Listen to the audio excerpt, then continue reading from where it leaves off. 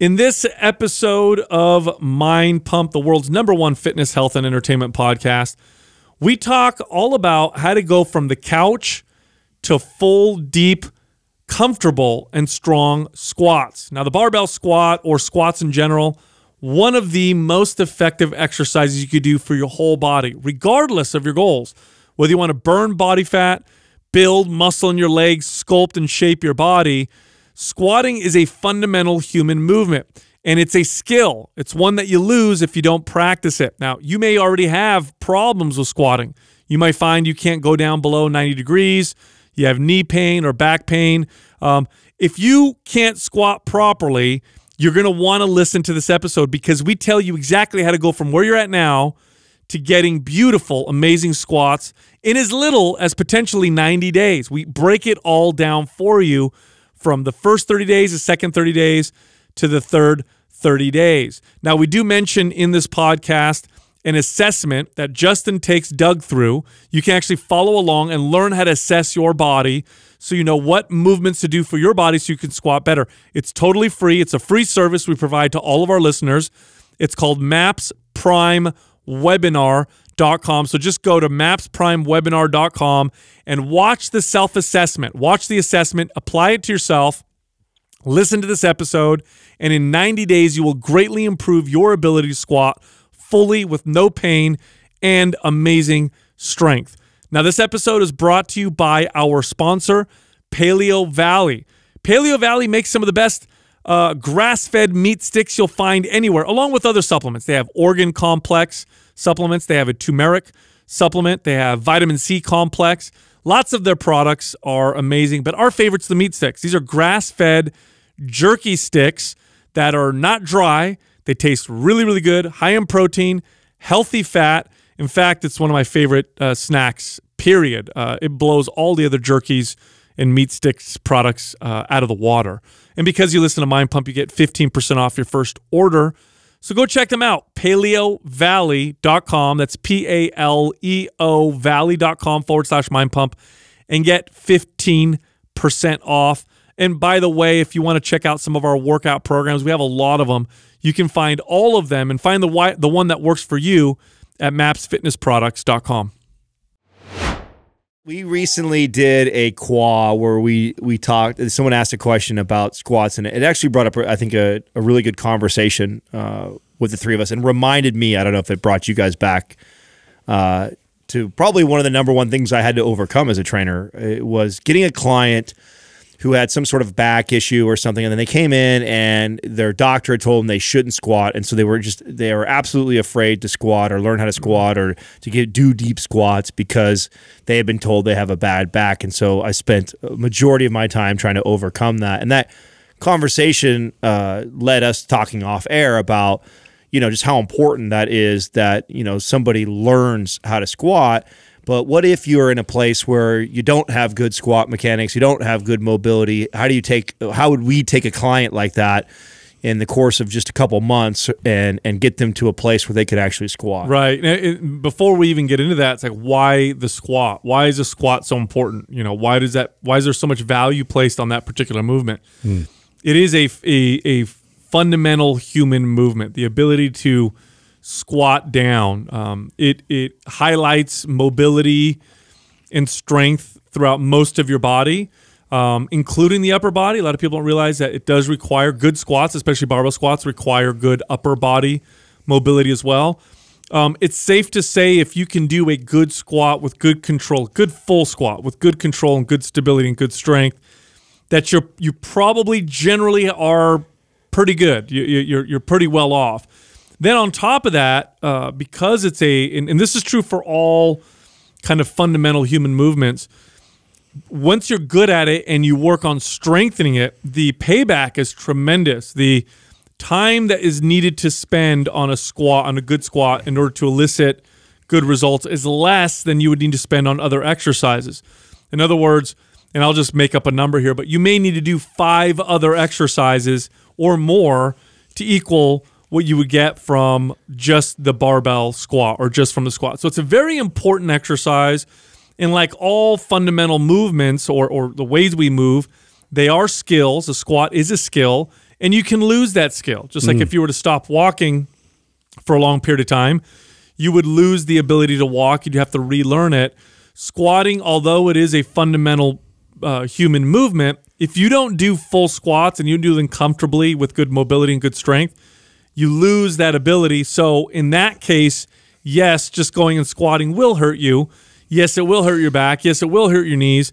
But that doesn't mean you shouldn't squat. What it means is you should work towards the point where you can squat and figure out why you're unable to squat. Yeah, I feel like squat is such a good measure of uh, you know a snapshot in time of how your body is performing properly from every facet, every joint, uh, getting everything to work in unison. And uh, it's one of those things that once you th- think that you've mastered it, and like you said, you can lose this as a skill just by not doing it frequently enough. Uh, so this is why we're always bringing it up. It's just something that uh, if you notice it in the gym and you know somebody that has a really good squat, you know how long it took for them to even get to that point. And so, you know, to be able to take somebody uh, to the very start in the beginning and go through that process in the most effective way possible, I think is a very valuable thing to understand. Totally. I had never, so I, I started working out very consistently at a young age. And it wasn't until I started barbell squatting that I saw my body really respond. And it responded very quickly. And I learned it from a group of powerlifters at a gym that I was working out in. Now, up until that point, I did work out my legs. I did things like leg presses and hack squats and leg extensions and leg curls. But they convinced me to to do barbell squats, and I practiced them, got got decent at them, and saw my body progress tremendously. I saw this with my clients as well. There's almost no exercise I can think of that produced results in my client. And it, honestly, it doesn't even matter what the goal was, whether it was fat loss, building muscle, shaping the glutes, improving mobility, athletic performance. I saw in my clients the greatest payback from uh, from any single exercise it was from the barbell squat. So it's it's a tremendously valuable exercise. That's why it's so important to not just learn how to do the skill get your body to be able to do it but also be able to maintain uh, that skill. I wish that I was more passionate about this when I first started as a trainer. This didn't really come full circle for me until later in my career when I started to battle low back pain, bursitis in my hips, and realized that where where I was missing was not training myself to get a deeper, fuller mm-hmm. range of motion. Mm-hmm. I was limiting my range of motion on my squat. I was focused more on the way I looked and aesthetics. Although I practiced this with my clients, and we always talk on the show about we were better trainers mm-hmm. with our clients than we were ever ourselves. This is an, a, a classic example of that with uh, squatting. I just I did not put the energy and effort towards working on my mobility, and as I got older and got even though I got more buff looking. Um, I started to deal with chronic issues. My my ankles were bothering me, my hips were bothering me, my low back was bothering me, and I had this chronic pain. And I didn't realize how much of that had to do with my inability to do a full range of motion squat. And of course, now looking back, it makes total sense, right? You know, the hips are such a, a multifaceted joint that can move in all these different planes. And when you limit it, you know, to this 90 degrees all the time, sitting in a chair, sitting in your car, sitting at your desk, and never challenging the hips to open all the way up into this full range of motion, what ends up happening is the, the body starts to compensate. Other muscles start to compensate, and this is where the problems start to arise. And then it started to make sense to me why I had so many of these clients that wanted to avoid squats because, oh, my low back hurt, or my hips bother me, or I have bursitis. And I probably allowed more of those clients to get away with that in my earlier career. It wasn't until later did I realize, oh my God, the answer for these people is for me to really work on their mobility in these in these joints and get them to a place where they can full squat. Because what I experience now, which is amazing, is I don't have to do a lot of the mobility work anymore. All I have to do is deep squat. As long as I have really good deep squats in my routine every week, it keeps my ankles healthy. It keeps my knees healthy. It keeps my hips healthy. It keeps my low back healthy because I put the work in to get there. And that in itself is a reason to to work towards that even if you think that you can't do it right now because it may take a little bit of work to get there but once you get there it's actually a lot easier to sustain that joint health by doing exercises that take the joints through its full range of motion Yeah, it's funny when they do studies on the impact of singular exercises on things like hormones, for example. So they'll do tests. Well, they'll see because when you lift weights and you do it properly, you do see a spike in anabolic hormones, things like testosterone and growth hormone, and they can actually they've actually done this where they've done exercises and then measured the response. And the number one exercise for spikes in things like testosterone and growth hormone, especially in men, was the barbell squat. The other exercises didn't even come uh, close. They also can test things like muscle protein synthesis. So, protein synthesis, when it's positive, it's telling you that the body's building new tissue, and they can they can measure this in real time. They can have you work out, measure it, and see what's going on. Again, the squat is king. Um, when they look at metabolism, uh, calories burned, um, calories burned after exercise. Uh, again, the barbell squat or the squat is king. Now, it is important. I know Adam's talking about full squats. It is important to differentiate the difference between a partial squat and a full squat. Totally different exercises. We're talking about full squats here. A partial squat, although there's some value in some maybe specific sports, it's not what I'm talking about right now. What I'm talking about is a full range of motion squat. This is where you go all the way down. You actually go down below 90 degrees, your hips go lower than your knees, and you can get in that position comfortably. And then, you know, if you're strong, you can load that weight, uh, that position, and do repetitions there. Totally different exercise from a partial range of motion squat. Now, here's the deal uh, I know for some people, squats have a bit of a reputation for, you know, causing injury and pain if you can't squat properly, if you don't have the mobility, if you don't have the strength, you will hurt yourself. By the way, that's true for all exercises. If you don't have the strength and stability, range of motion to do a curl, you're going to hurt yourself. It doesn't matter what the exercise is. If your body can't do it and you don't have the skill to do it, then yes, you will hurt yourself. So that's, and I want to make sure we hammer that home that what we're talking about in this podcast today is how to get to the point to where you can squat fully with good control and good strength so you can reap the benefits of one of the most effective exercises known to man with minimal or no risk of injury or pain and if anything it'll reduce your pain in fact it was one of the most effective exercises for my older population clients it was a squat when i got them to be able to squat and then do squats pain would go away. That's how powerful of an exercise this is. Now, uh, I know in this episode we're talking about 90 days to be able to get a full squat. I think that's a safe number for most healthy, able-bodied individual.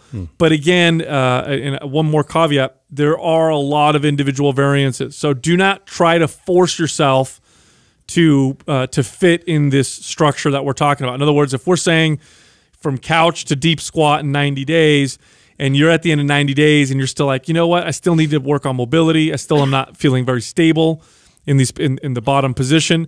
Don't force yourself.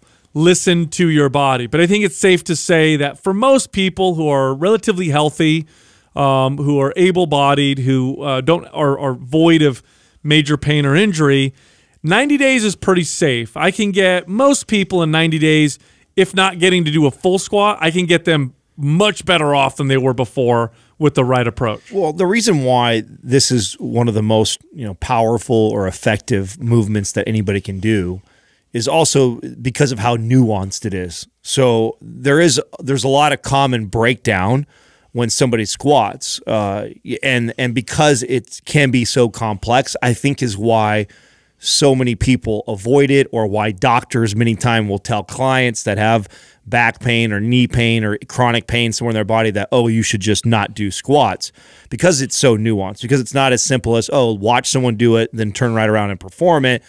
If you have you know excessively forward head or forward shoulders there's a good chance when you go down into a squat, you're going to have this forward lean. Your your body's going to fold over like a lawn chair when you go in, and the weight's going to end up being distributed over the top of your knees, and you might feel stress in your low back. You might feel stress in your neck. Super common. You know, or somebody doesn't know how to break at the hips, and so a lot of the load is the stress is going into the knees, or they hmm. don't have the ankle mobility, and so they don't have a lot of travel for the knees to go back and forth, or their hips they get stuck at a certain point because they don't have the hip mobility. Because there are so many areas in the squat that you can break down, and it's common that somebody has at least one, two, if not all of those areas to address. It seems so overwhelming that people avoid it. But the truth is, once you figure out what those what those areas that you're that you are breaking down in, and then you do the right things to improve it, you should see pro- uh, progression in this.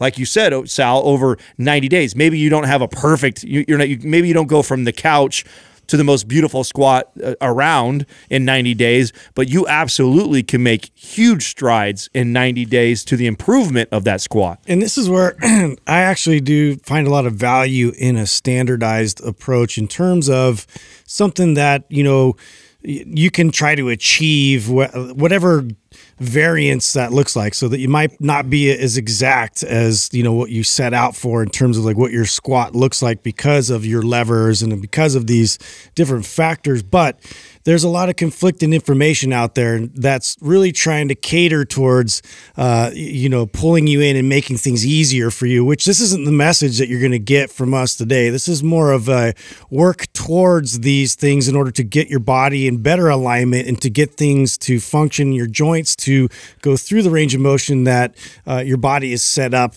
to do. And so this is something that, you know, I'm passionate about in terms of, you know, trying to make sure that uh, if we can establish this one specific technique and in your foot position, your knees, everything kind of like stacking on top of that first, then we can venture out. We can go a little bit wider in our sense. We can we can mess with that. we got to establish a standard first. Yeah, there's this. I'm so glad you said that. There's this, there's this common belief, and it's largely false that uh, because everybody's body's different, everyone's squat is going to look different.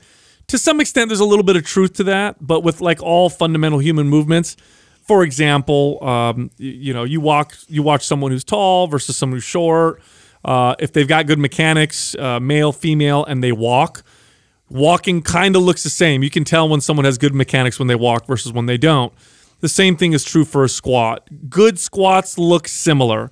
Bad squats look very different from each other. Yeah. Okay. Yeah. So, yes, if you squat very different from your friend, maybe because you have it's probably because you have mobility issues um, and some strength and stability issues but when you look at a bunch of people tall short medium you know male female doing really good squats with good mobility good stability good strength. They all look very very similar. Right. Mm-hmm. so let's move away from the whole like oh my body's different i can't squat or i have to do this crazy variation because my hip joints or whatever Usually that's not the case. It's usually not the case. It's usually a mobility issue. Mm-hmm. And if you address those issues, you'll find that your good squat will look very similar to somebody else's very, very. You know, that's become really popular. I'm glad you addressed that too, Justin. Uh, you know who just, uh, Kelly Starrett. So shout out to him. He did a video just recently on his Instagram. I thought that was really good uh, to, to kind of debunk this because that's become very popular, especially mm-hmm. in the CrossFit community.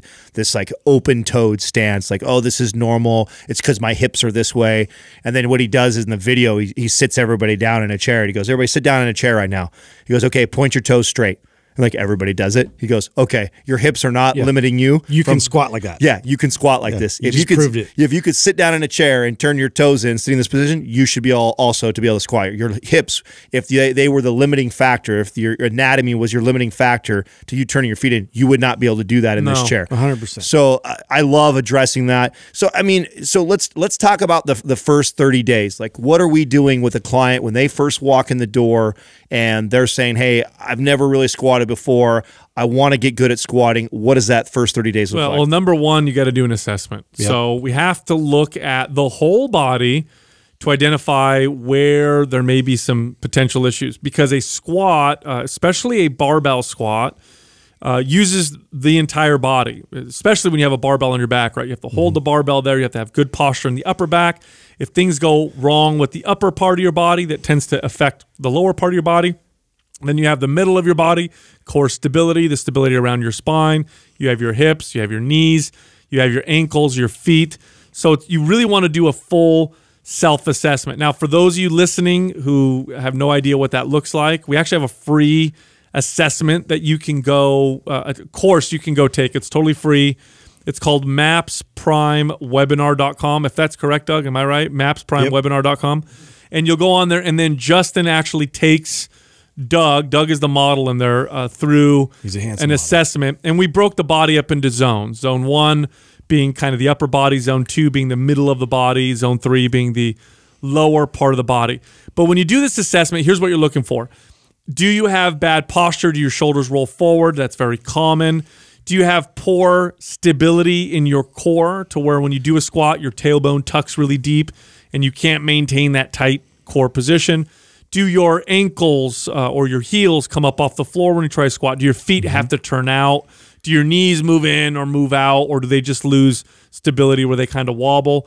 Pay attention to all those things and find where you see kind of the breakdown. You can look at a perfect squat online, compare yours to it, and see where the differences are. So now this is a very specific thing. When I do an assessment, I'm looking at an individual, but I'm going to give you some general exercises that will help mo- the most common, I'd say, uh, posture issues. Yeah, let's why- let, let's go through those three zones and talk about the most common issues and then the ways to fix that first. Right. Because there are definitely, although there's always going to be an individual variance, there's always going to be an exception to the rule. There's always going to be that client who Mm. has one limb who's two inches longer, or ha- uh, we want to talk We're to the talking about the most common things we see. yeah, the most common things you see, and if you if you go from zone one, where Sal talked about, that's the the upper body, right? That that first zone.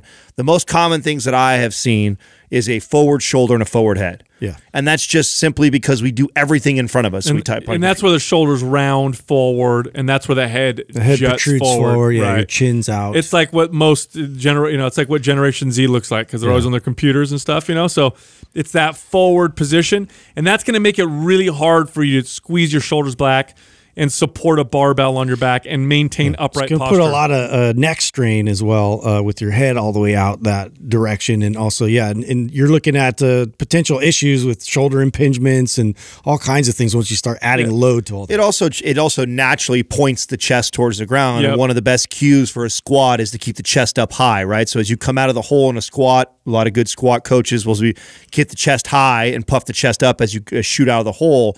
And if you're rounded forward, the chest is going to be push, pushing downward. You're more likely to fall forward. You're more likely to have the bar the bar travel over the knees, which will put stress on the knees, stress on the low back. So right away, the first thing that I'm addressing is that forward head and those forward shoulders by to pull everything back. right. Yeah. So one of my favorite exercise is called the prone cobra. You can find this uh, on our YouTube channel, Mind Pump TV.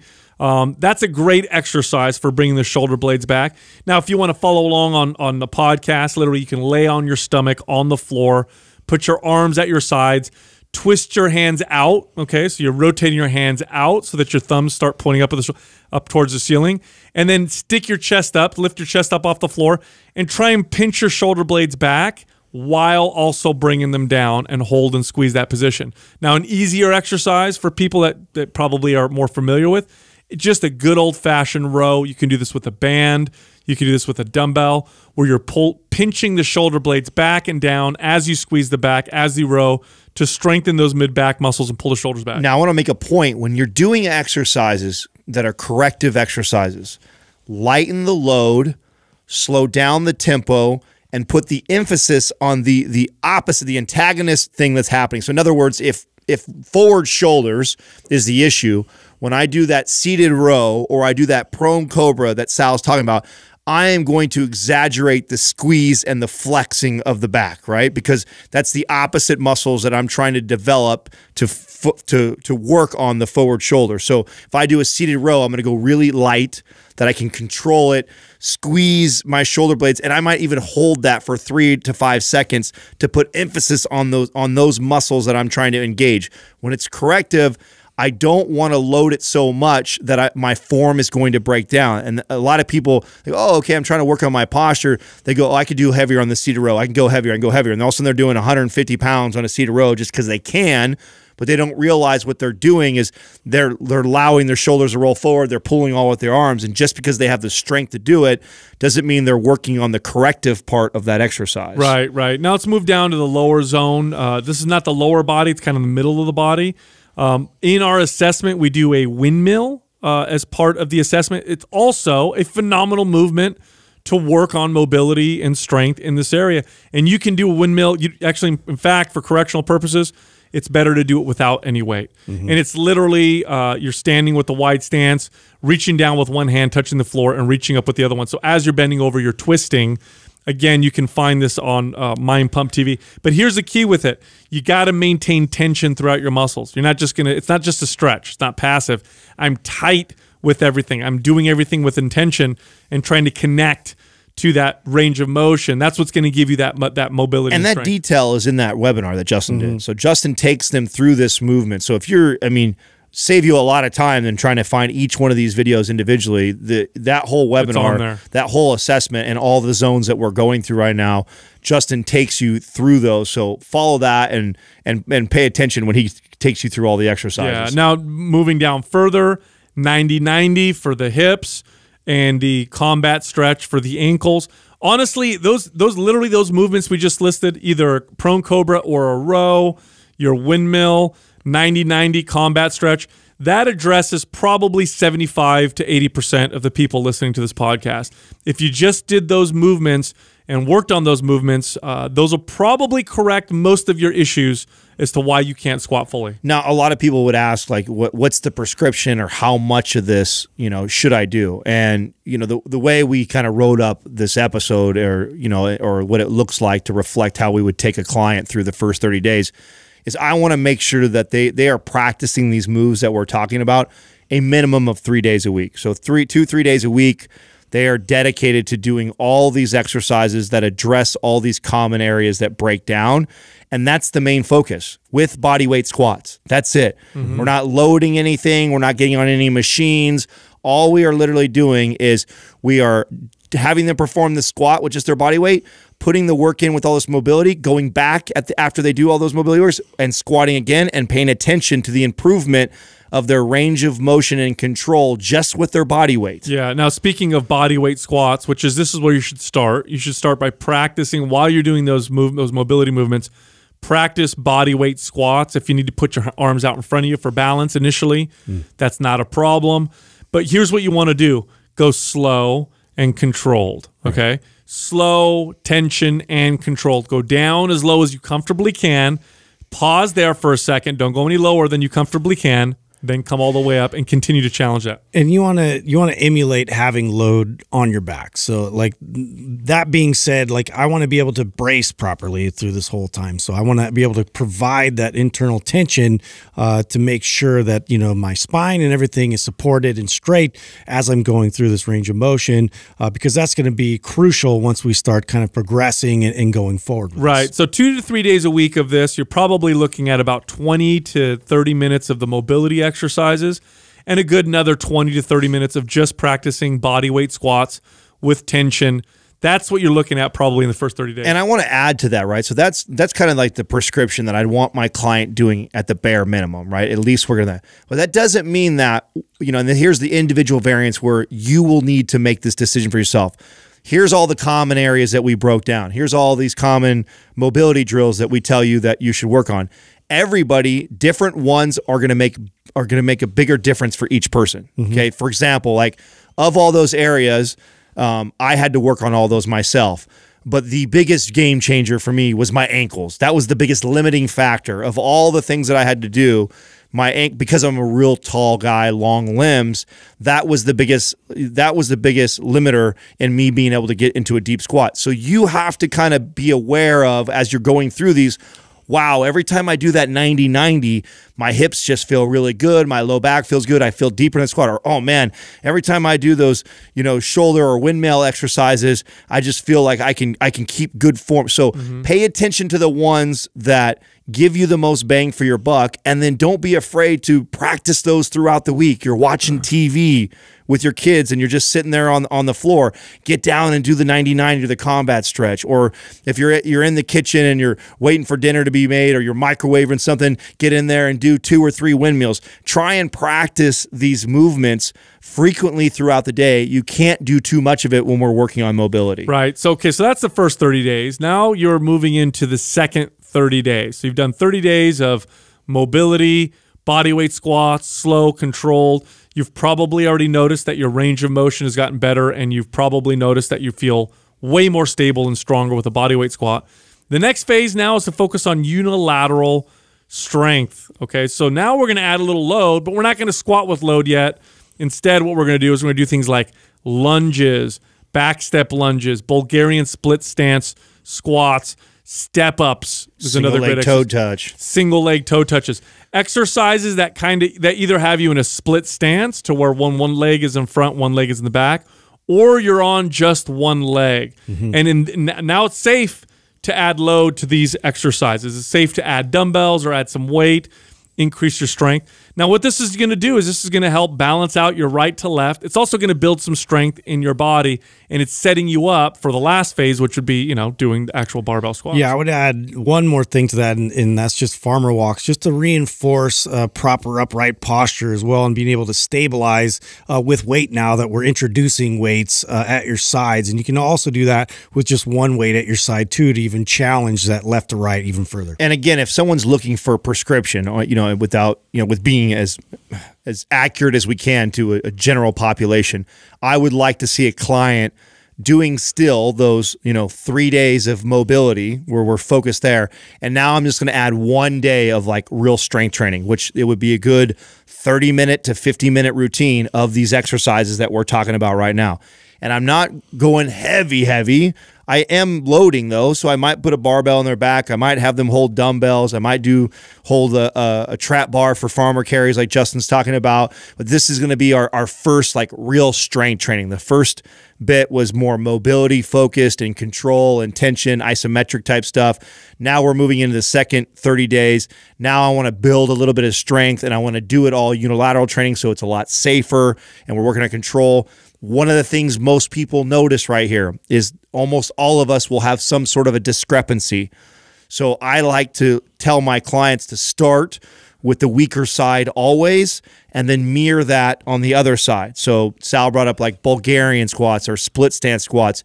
You may find out when you do those lunges or squats that your, you know, right leg is so much stronger than the left leg. So start with the weak leg first, and however many reps that is, five to 12 is probably where I'd recommend you to be at in those 30 days.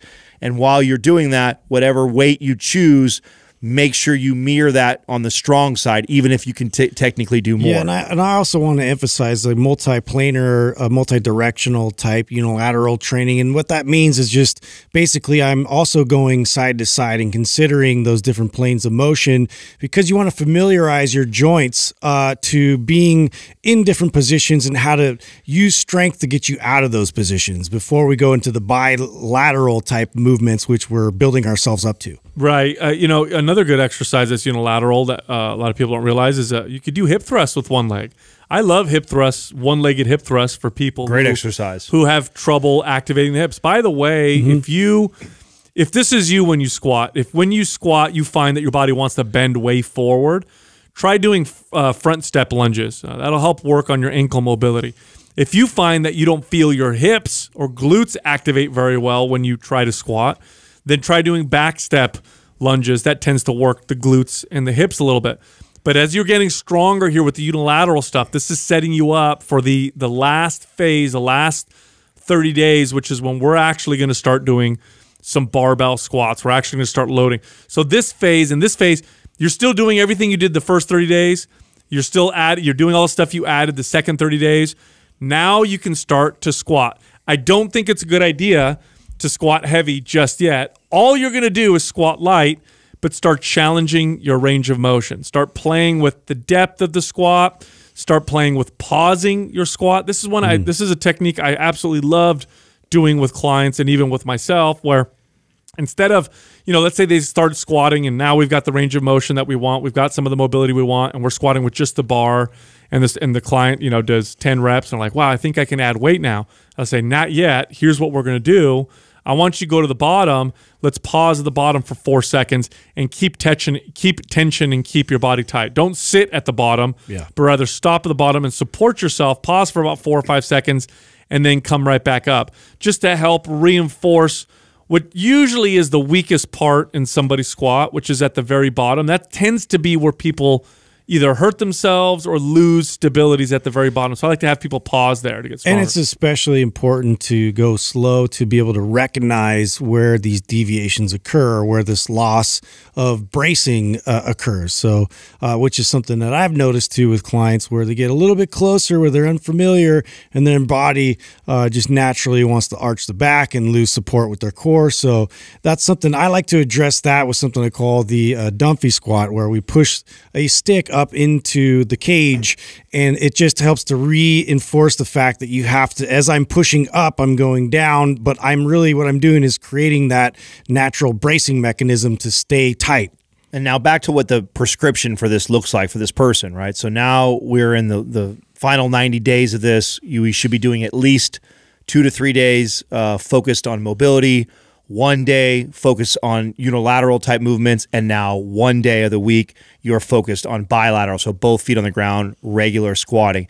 And on, if you're a trainer and you're listening to it, this is you. This is such a great. Uh, kind of plan to follow for uh, most of your clients and you could easily sprinkle in some you know uh, isolation exercises to you know appease the arms and shoulders and these other movements that people are going to want to address. But building the program around this i wish i did more of this in my earlier career. I, this is what i started to do later on because i realized how beneficial the squat was to like what the point Sal made at the beginning of this podcast that doesn't matter if their goal was strength, if it was fat loss, if it was mobility, if it was longevity, like this getting them to squat and squat with good form had so much carryover into all those pursuits that I should have been programming most my programs like this, where it's like, okay, number one focus is to get this person to be able to squat and move properly. All the other bullshit will sprinkle in you know, bi and tri day, calf day, all these little things that are like such small potatoes in the grand scheme of things. Well, I'll sprinkle those into their routine or add them into these unilateral and bilateral training days just so we kind of touch all the other muscles. But I really want to put all my energy into can I get this person to move and squat better? And if I can, and I do focus on that, I know that they'll they will get more benefit from that than any other way Yeah, of training. I can't stress this enough. Um, go to go to mapsprimewebinar.com and watch and and follow along with the assessment. It's gonna it's gonna make such a huge difference for you specifically. It's individualized because what you're gonna do is you're gonna follow the test that Justin takes Doug through, and as he teaches you, you'll be able to see for yourself what areas you need to focus on. It makes a tremendous, tremendous difference. And then the second thing you should do, we we mentioned a bunch of movements and exercises.